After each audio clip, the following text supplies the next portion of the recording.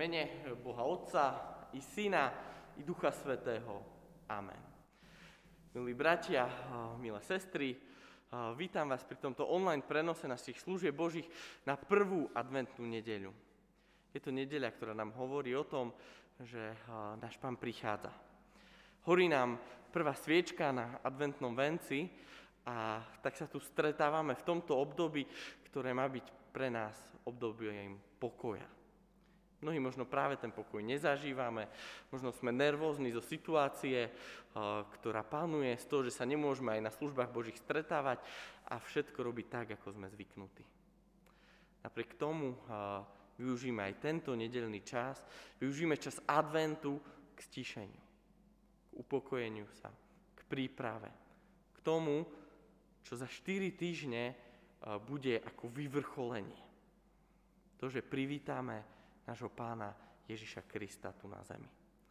Tieto služby Božie, ktoré sledujete, budú mať skrátený poriadok služieb Božích, čiže budú iba na tri piesne a budeme spoločne spievať aj slavnostný žalm.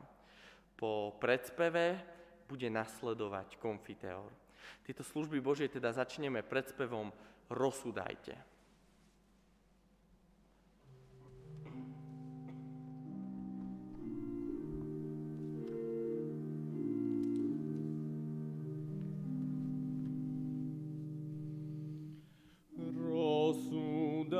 Dajte nebesa z hora a oblaky nech lejú spravodlivosť. Nebesa rozprávajú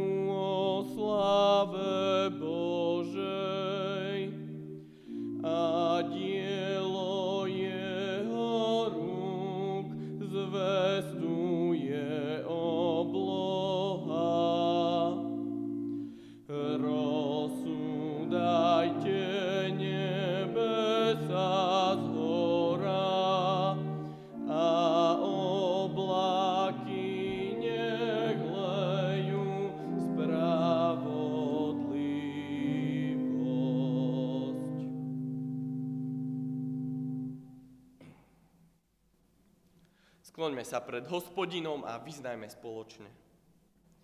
Bože milostivý, priznávam, že som sa previnil myšlienkami, slovami a skutkami. Konal som, čo je zlé a zanedbal, čo je dobré. Úprimne to ľutujem a prosím, zmiluj sa dado mnou. Daj mi silu, aby som odolával zlu. Nech som hodnejší toho obrazu, na ktorý si ma stvoril. Pomáhaj mi k tomu, Oče dobrý. Otec nebeský, ktorý skúma ľudské srdcia a počuje naše prozby a podľa svojho sľubu sa zmiluje nad tými, ktorí sa úprimne kajajú. Nech sa tak stane. Amen.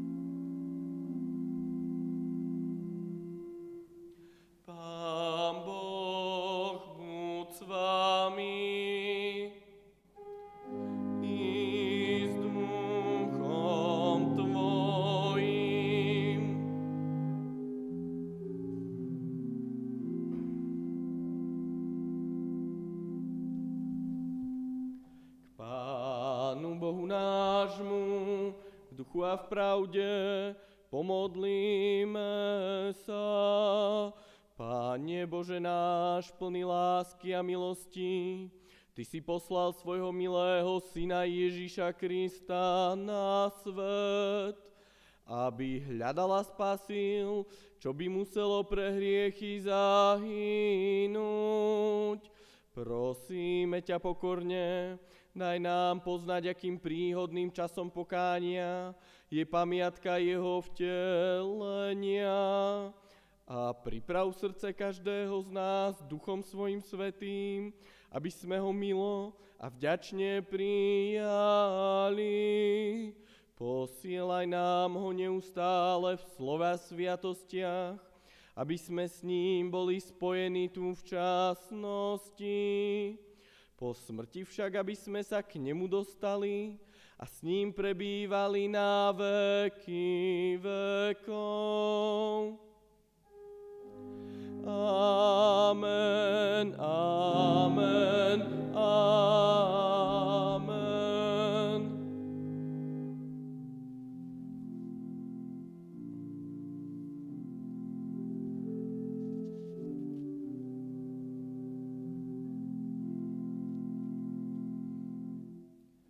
Hospodinova je zem i to, čo ju naplňa, sveda tí, ktorí v ňom bývajú.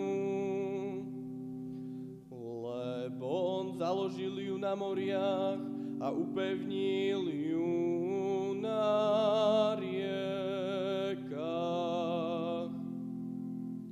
Kto smie vstúpiť na vrch hospodinov a kto sa postaviť na jeho svetom Človek nevinných rúk a srdca čistého, ktorý si dušu neobracia k márnosti a krivo.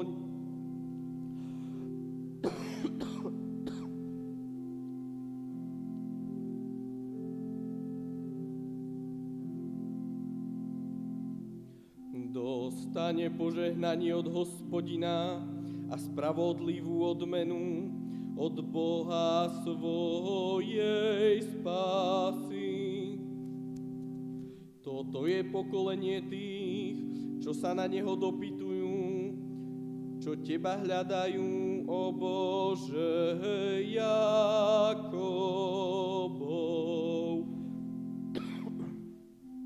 O brány, pozdvihnite svoje hlavy a zdvihnite sa, večné vráta, aby mohol vojsť kráľ slávy.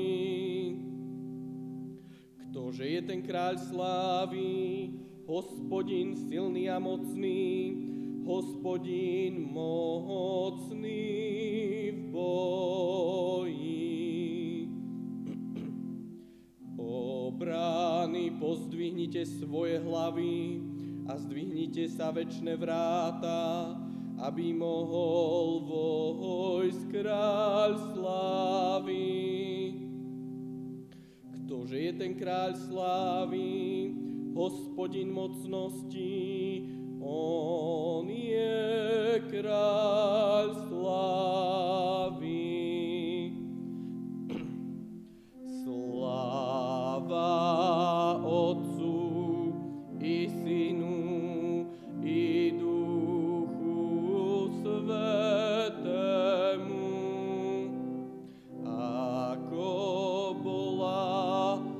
Počiatku, i teraz, i vždycky, i na veky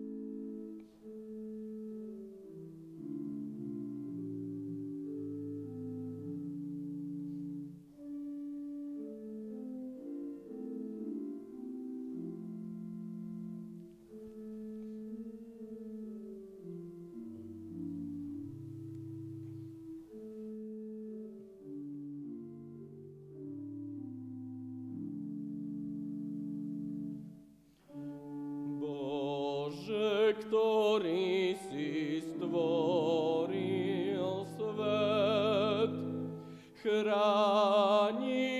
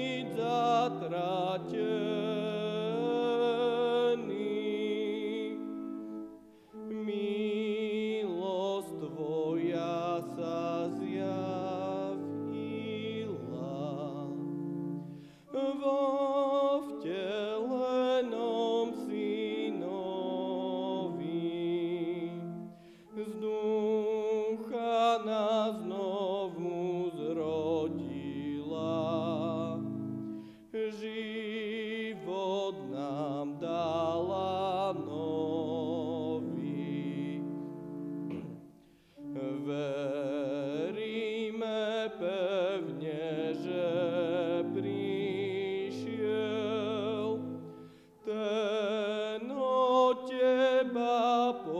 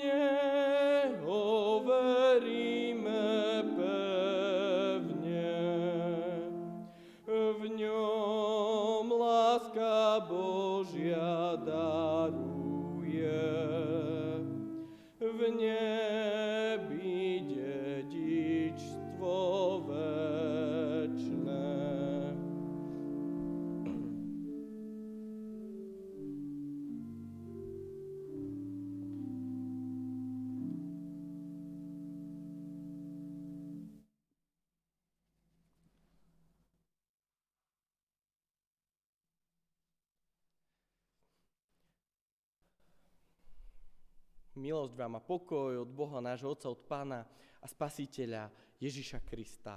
Amen. Skloňme sa k modlitbe.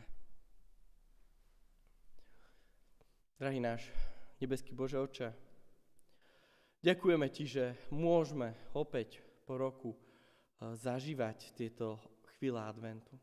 Začiatok nášho cirkevného roka a zároveň začiatok toho obdobia, kedy sa pripravujeme na oslávu príchodu nášho pána a spasiteľa, pána Ježiša Krista. Daj, páne, aby naozaj táto prvá adventná nedeľa mohla byť takom, takým začiatkom ešte intenzívnejšej prípravy, zamýšľania sa, každý sám nad sebou. Aby keď príde Pán Ježiš Kristus, aby naozaj sme boli pripravení. Či už sa jedná o ten prvý príchod, alebo ten posledný. Ten, kedy nás bude súdiť. Dávaj nám tak, Pane, ešte teraz múdrosť, kým je čas milosti, aby sme naozaj aj skrze Tvoje slovo mohli príjmať pravdy, ktoré budú meniť náš život. Amen. Bratia a sestry, budeme teraz čítať z knihy proroka z Jeremiáša z 33. kapitoly od 14. po 16. verš takto. Aj hľa prichádzajú dni, znie výrok hospodinov. Keď splním dobre zasľúbenie, ktoré som dal domu Izraela a domu Judovmu. V tých dňoch a v tom čase spôsobím, aby Dávidovi vyrástol spravodlivý výhonok, ktorý uskutoční právo a spravodlivosť v krajine. V tých dňoch bude Júda zachránený. Jeruzalem bude prebývať v bezpečí a pomenujú ho Hospodin je naša spravodlivosť. Amen. Toľko slov písma svätého. Milí bratia a sestry v Pánovi Ježišovi Kristovi, eh, tí teda, ktorí nás eh, pozeráte eh, cez online priamy prenos. Chcel by som začať takým jednoduchým príbehom. Je to o výrobcovi topánok, ktorý, ako to poznáme, eh, všelijakí výrobcovia dnes majú rôznych svojich akýchsi dílerov, predajcov, ktorí ďalej predávajú. A tento výrobca topánok chcel svoj predaj rozšíriť a tak dvoch svojich predajcov poslal do naozaj ďalekej krajiny. Krátko po ich príchode, ako tam už boli, dostal od oboch týchto predajcov e-mail. Jeden ho prosil, prosím, dostaň ma odtiaľto, nikto tu nenosí topánky. A ten druhý, druhý napísal a požiadal uh, svojho šéfa, prosím, pošlite mi ešte viacej tovaru, pretože tu každý potrebuje topánky. Aké dva rozličné pohľady na jednu a tú istú vec dnešnom texte uh, nás prorok eh, Jeremiáš uh, naozaj varuje. On môže byť niečo ako ten predávač, ktorý požaduje práve viac tých topánok. Ten, ktorý ponúka, nie síce topánky, ale ponúka obyvateľom Judu a Jeruzalema posolstvo nádeje. Posolstvo nádeje, ktoré začína slovami aj hľa prichádzajú dni, znie výrok hospodinov, keď splním dobre zasľubenie.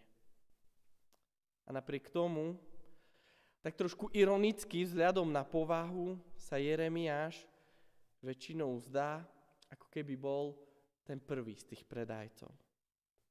Ten, ktorý nemá žiadnu nádej. A nádej je naozaj veľmi dôležitá. Viete, Jeremiáš pravdepodobne, keď píše tieto slova, odpikáva si svoj trest vo väzení, pretože prorokoval proti kráľovi. A ľud Judska a Jeruzalema obvinil z ich neverí voči hospodinovi a tej zmluve, ktorú s nimi hospodin mal.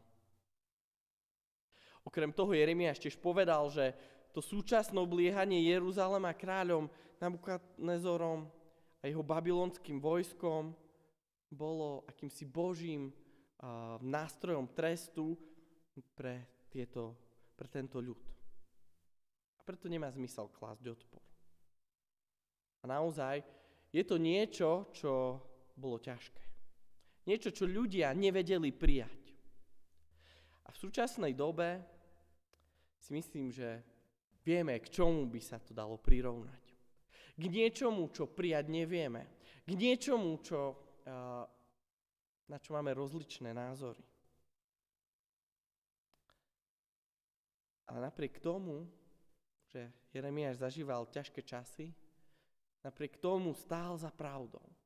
Napriek tomu zostal verný Bohu a ohlasuje túto nádej. Robí to napriek bezvýchodiskovej situácii. Iste prídu dní, prorokuje Remiáš, prorokuje Jeremiáš, keď príde vládnuť kráľ, Mesiáš. Keď bude vládnuť podľa práva a spravodlivosti naozaj veľmi dôležitá vec. Jeden biskup z Južnej Afriky napísal knihu, ktorá nesie názov Nádej a utrpenie. Bol to veľmi vystižný názov toho, čo sa v tej krajine v tej dobe dialo. Keď ľudí eh, naozaj stíhal eh, aj režim. Ale tento biskup aj ďalší kresťanskí vodcovia hlásali nádej.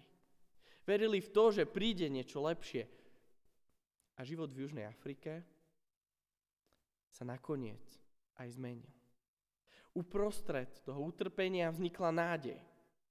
Zrodil sa nový život a vznikol nový multikultúrny, multirasový národ. Zjednotený v živote, v práci, premiera spravodlivosť. Taký národ, z ktorého si v mnohom stále môžeme brať príklad. V dnešnom svete, v takom, aký žijeme, existuje množstvo dôvodov, prečo žiť bez nádeje. Prečo byť sklamaný. Prečo si myslieť, že ma nič dobre nečaká. Prečo sa na všetko pozerať iba negatívne. Veď všade naokolo je toľko utrpenia, zlá, nespravodlivosti a zákazov. Žijeme v našom svete, v svete pandémie, korony, ktorý nás zobral naozaj možno o mnoho radosti, na ktoré sme boli deň čo deň zvyknutí. Ale ja stále verím, že môžeme mať nádej v lepšie zajtrajšky. Je nádej skutočná, alebo je to len akýsi idealistický sen? Niečo, aby sme sa niečím povzbudili. Výskumníci identifikovali akési štyri druhy alebo procesy nádeje. Nádej ako zážitkový proces. Zdá sa, že je dynamická. Nádej, ktorá vzniká v kontexte utrpenia, choroby a smrti. Trpenie je totiž akousi takou najväčšou výzvou k nádeji pre človeka. A predsa tiež platí, ako hovorí aj apoštol Pavol v liste rímským, že utrpenie vytvára nádej. Dáva akýsi zmysel, že moderná či filozofia, alebo aj teológia nádeje vzýšla práve z veci, ktoré neboli pozitívne. Vznikla z holokaustu a z nádeje, že veci budú lepšie. Nádej ako akýsi potom duchovný a transcendentný proces. Mnoho ľudí používa práve v tejto nádeji duchovné zdroje ktoré máme a ktoré je veľmi dobré, aby sme používali, ako je modlitba, rozmýšľanie nad Božím slovom. Viete, biblická nádej nie iba nádej na to, že niečo bude presne tak, ako si ja raz predstavujem. Nie je to nádej v konkrétny výsledok, ale je to nádej v Boha. Nádej, ktorá je schopná prekročiť aj to, čo je o mnoho dôležité. Nádej, ktorá prekračuje smrť. A je tam, kde sa nám zdá, že všetko už je zmárené. To je význam nádeje a význam vzkriesenia v kresťanskej teológii. A potom je tu aj nádej ako racionálny myšlienkový proces. Ústredným rozmerom nádeje je poskytnutie akéhosi pocitu toho, že všetko máme pod kontrolou. Viete, ak pacienti, ktorí ochorejú, nemôžu kontrolovať svoju chorobu, môžu však kontrolovať svoju reakciu na ňu. To je veľmi dôležité. To, ako sa k tomu postavíme. Ako sa správame. Aj rôzni terapeuti, opatrovatelia, sestričky, lekári musia byť zruční a chcú pomôcť eh, pacientovi v tom dosiahnuť akési reálne ciele. A potom vytvoriť proces a plán na ich dosiahnutie. Toto je nádej. Nádej ako vzťahový proces. A nádej je veľmi dôležitá. Jednou z najdojímavejších častí práve tohto výskumu, o ktorom som hovoril, je to, aký život žil aj práve ten výskumník, ktorý ho robil. Pretože vzťah s jeho manželkou živila práve nádej. Zakúsil jej lásku k nemu, aj to, aká bola jeho láska k nej, aj to, keď nevedel, či je mŕtva alebo živá. Dní sa určite blížia. Aj hľa, prichádzajú dni. Takto nás varuje prorok Jeremiáš. A varuje nás aj v dnešný deň, kedy začíname nový cirkevný rok. Touto prvou adventnou nedeľou sa tešíme práve a pripravujeme na tie dni, ktoré sú pred nami.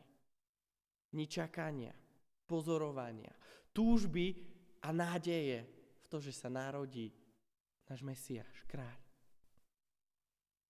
Že tu príde preto, aby sme my mohli mať nový život, nový začiatok. A že spôsobí medzi nami pokoj a radosť. To, čo je v dnešnom svete tak potrebné. Nádej je skutočná. Je to možno to najreálnejšie, čo máme uprostred trápenia, a bez nádeje, ktorá nás zachvacuje. Či už je to národ Judska alebo Jeruzalema obliehaný Babylončanmi. Či možno sú to problematické miesta v dnešnom svete. Či možno je to tá choroba, ktorá nás súžuje. Či už sú to chudobní alebo bezdomovci, nezamestnaní alebo takí, ktorí naozaj žijú iba z minima. Verte, že určite prídu dni, keď sa narodí náš spasiteľ. Mesiáš, kráľ. A my vieme, že sa to stalo. My vieme, že si to už iba pripomíname. Ale vieme aj, že prídu dni, kedy príde Pán Ježiš Kristus ešte raz. Kedy príde v svojej sláve a moci ako súdca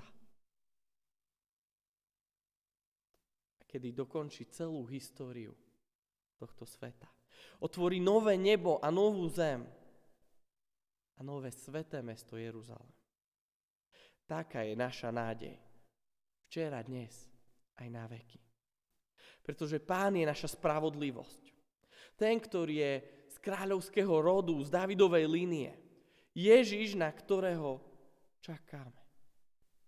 Na ktorého príchod sa pripravujeme bratia a sestry, tak sa pripravujme. Nie len na ten príchod, na ten vianočný čas, keď si pripomíname narodenie nášho pána, ale prežívajme aj náš životný advent. Prípravu na druhý príchod nášho pána spasiteľa Ježiša Krista. Pretože svet, a ja verím, že aj každý z nás osobne, o to viac ako kedykoľvek predtým potrebuje záchrancu, spasiteľa, Ježiša, Mesiáša, kráľa. A preto sa nevzdávajme, pretože aj hľa prichádzajú dni. Žijeme teda tento advent v radosti, očakávaní. A dúfajme v dni, ktoré určite prídu. Amen. Pomodlíme sa. Drahý náš nebeský Bože oče, naozaj s radosťou a vďačnosťou začíname nový cirkevný rok. S radosťou a vďačnosťou si pripomíname a pripravujeme sa na Tvoj príchod, Pane. Zároveň nezabudáme na tie upozornenia, že Ty prídeš ešte raz konečne, kedy budeš tým spravodlivým sudcom. Tak, Pane, dávaj nám v tomto čase, kedy uh, sme asi o to viac opäť zavretí v našich domácnostiach, sme viac medzi svojimi blízkymi, možno máme aj trochu viac času, aby sme spomalili, upokojili sa.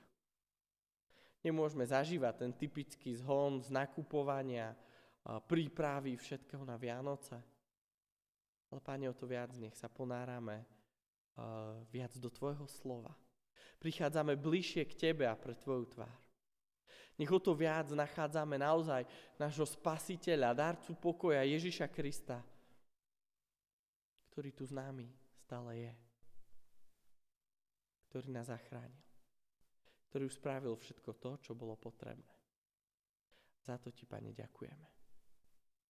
Prosíme o Tvojho Svetého Ducha, ktorý nám naozaj vo všetkej Tvojej múdrosti bude pomáhať a ukazovať tú správnu cestu aj týmto adventom aby naozaj to narodenie Pána Ježa Krista, ktoré si budeme pripomínať, sme mohli prežiť aj v našom srdci a v našich vnútrách. Amen. Drahý nebeský Bože Oče, chceme sa v tejto chvíli modliť aj s našou sestrou Máriou Germanovou aj rodinou, ktorá si naozaj s ďačnosťou a láskou spomína na svojho blízkeho Andrea Germana. Drahý Pane Ježišu, chceme spoločne s nimi ďakovať za ten život, ktorý mohol spoločne s nimi prežiť. Za všetko to požehnanie, ktoré si aj ty skrze neho priniesol do ich životov. Aj keď 10. výročie je už taká celkom pekná doba, my vieme, že miesto a akási diera v našom srdci stále ostáva. Buď, Pane, ale Ty s nimi a dáva im práve tú nádej, o ktorej sme aj dnes hovorili. Raz skriesenie a väčší život s Tebou, drahý náš Pane, aj so svojim blízkym. Amen. Oče náš, ktorý si v nebesiach, posved sa meno Tvoje, príď kráľovstvo Tvoje, buď vôľa Tvoja ako v nebi, tak i na zemi. Chlieb náš každodenný daj nám dnes a odpúsť nám viny naše, ako aj my odpúšťame vynikom svojim i neuvod nás do pokušenia, ale zbav nás zlého, lebo Tvoje je kráľovstvo, i moc, i sláva na veky vekov. Amen. Sláva Bohu Otcu, i Synu, i Duchu Svetému, ako bola na počiatku, i teraz, i vždycky, i na veky vekov. Amen. Milí bratia milé sestry, dovolte mi niekoľko oznamov. Ten prvý je, že služby Božie si budete môcť eh, pozrieť opäť budúci týždeň o 10. hodine aj na facebookovom, aj na youtube kanáli nášho cirkevného zboru. Taktiež vás pozývam aj k sledovaniu detskej besiedky, ktorá už je aj v tomto čase uh, online na facebookovej stránke nášho cirkevného zboru a taktiež aj budúci týždeň bude opäť k dispozícii. Keďže sa nemôžeme stretávať v spoločenstve, tak sú k dispozícii takéto online prenosy online prenos alebo nahrávka bude k dispozícii aj v stredu o 18. hodine. Bude to iba také zamyslenie namiesto adventnej večierne. Nebudú to celé služby Božie, ale bude to taká kratšia pobožnosť. Takže pozývam vás aj v stredu 18. k sledovaniu na facebookovom kanále nášho církevného zboru. Okrem toho vám ponúkam taktiež aj individuálne pobožnosti u vás doma, spoveď a tiež večeru pánovu. Ak máte uh, záujem, uh, prosím, prihláste sa na Farskom úrade. Ja budem veľmi rád s vami aj osobne je to dovolené, tak využite taktiež aj túto príležitosť. Taktiež, ako už bolo vyhlásené aj na facebookovej stránke, dávam vám do pozornosti, že uh, oplátky si ste nemôžete zakúpiť v kostole, keďže sa osobne nestretávame, ale môžete si ich zakúpiť u brata Basárika v bežné dni po 16. hodine. Taktiež boli otázky aj na tranovského kalendáre, uh, na stene, na stolové kalendáre. Uh, prosím, aby ste sledovali oznámy na facebookovej stránke nášho cirkevného zboru budú eh, čo nevidieť predaji taktiež eh, na Farskom úrade. Tiež vás chcem pozvať od 1. decembra ku Festivalu nádeje Prochrist 2021. Eh, je to séria online evangelizačných večerov z Nemecka pod názvom Festival nádeje 2021. Budete ich môcť sledovať každý deň v dňoch od 1. do 7. decembra 2021, je to od stredy do útorka, vždy od 18. hodine na YouTube kanáli, ktorý bude zverejnený taktiež na facebookovej stránke nášho cirkevného zboru. Keďže kvôli lockdownu nie je možné sa stretávať, evangelizačné večery nebudú prezenčne, ale si ich môžete pozerať u vás doma, individuálne. Nie je potrebné sa na to prihlásiť. Mária Germanová s rodinou si s ďačnosťou a láskou spomína na svojho manžela Andreja Germana pri desiatom výročí jeho smrti. Pri tejto príležitosti darujú na potreby zboru 100 eur. Bratia a sestry, ešte som jednu vec zabudol a to je, že konfirmácia sa uskutoční, teda príprava na konfirmáciu, prvý ročník o 16. hodine cez aplikáciu Zoom a druhý ročník o 18 o 17. hodine v stredu, tak isto cez aplikáciu Zoom. Toľko teda z oznamov, teraz primite požehnanie. Milosť nášho Pána Ježiša Krista, láska Božia, dára účastenstvo Ducha Svetého nech je a zostáva so všetkými nami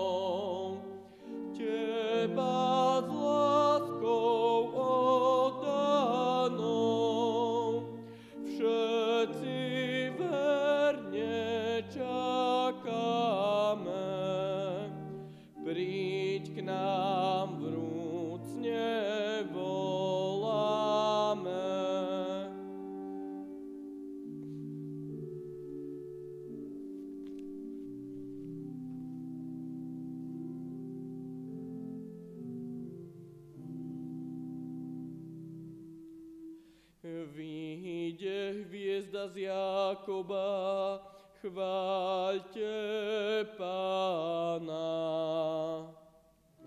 A povstane berla z Izraela, chváľme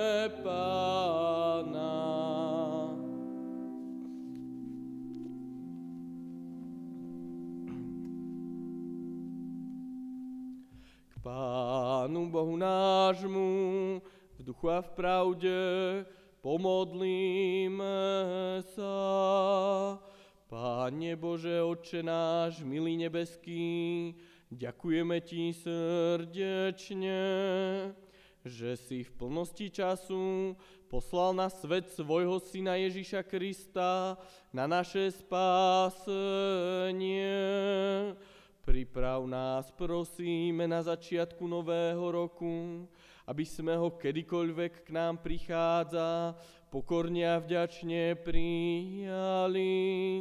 Z jeho príchodu sa tešili, Teba jemu ďakovali tu časne, i tam potom v nebesiach na veky vekov. Amen, amen, amen.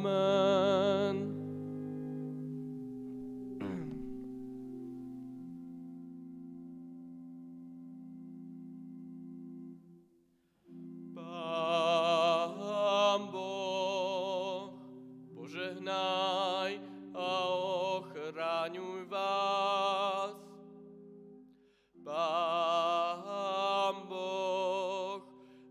rozjasni svoju tvár nad vami a buď vám milostivý. Pán Boh, obráť k vám svoj obličaj a daj vám svoj časný i večný pokoj. Amen,